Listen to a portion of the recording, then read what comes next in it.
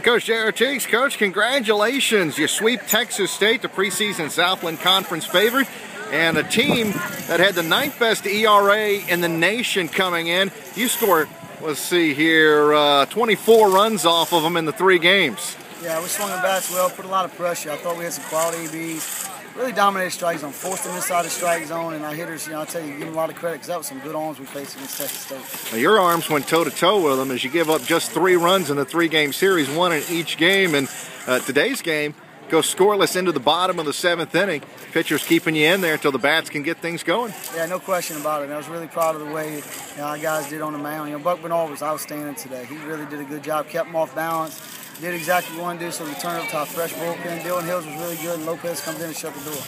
Well, Coach, uh, in sole possession of second place now with a Northwestern State loss, four behind Sam Houston State, and now you move on. You got a couple of midweek games, Tulane and Jackson State. Yeah, now it's focusing on Tulane Tuesday over there plays. Uh, you know, we're excited about going over there. It's always a fun game when we go there, and you know, we got some guys we need to see throw on the mound, and anxious to see that. All right, Coach. Best of luck this coming week. Thanks a bunch.